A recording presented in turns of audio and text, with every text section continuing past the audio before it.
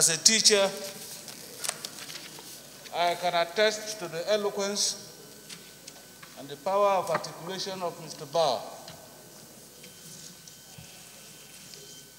Yet, there are a few issues that have been trending in the public domain in recent times with respect to EFCC that requires some clarifications and of course to which your answer may be a benchmark even for yourself.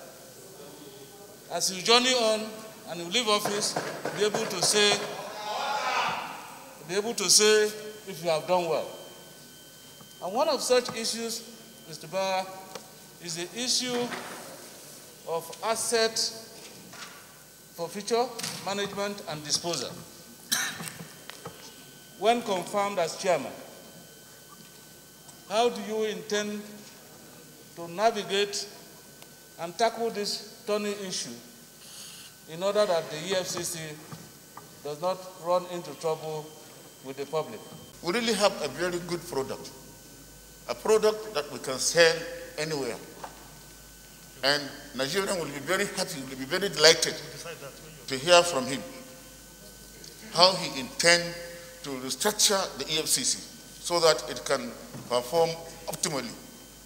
Mr. President, since we are limited to only one question, the only question I will ask is that uh, there is allegation in, in the press and particularly in the social media that the seized and forfeited assets at Port Harcourt were not properly disposed of.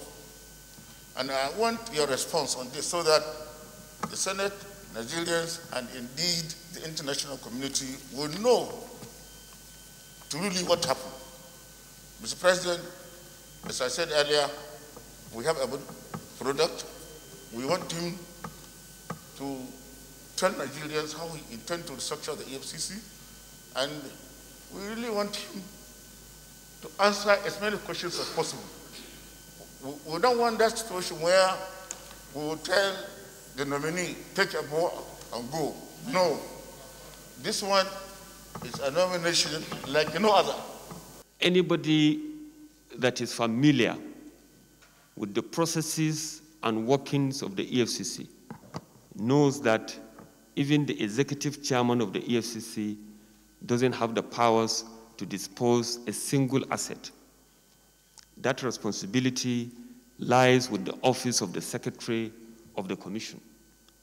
I'm saying this, I'm starting from that end to confirm to Nigerians and indeed this chamber that I, as zonal head of the EFCC, never for once sold a single asset in Port Harcourt. I never did.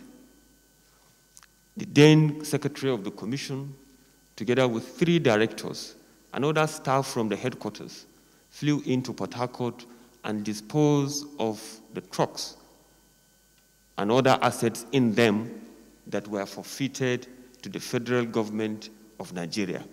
Sequel to our own singular effort as part of the reformation that I brought to the Port Harcourt Zonal Office. Let me put it on record, uh, uh, Mr. President, the single senators, that when I took over the Port Harcourt Zonal Office in January 2019, the year before, the zonal office recorded only 33 convictions. But because of the way we transformed the zonal office, we recorded an unprecedented 216 convictions within a year. 216 convictions. We never sold anything in Port Harcourt zonal office. It was the head office that did everything. We don't know how the payments were made. We don't know who buy. We don't know who lost out in the auction, etc., etc. That is for the record.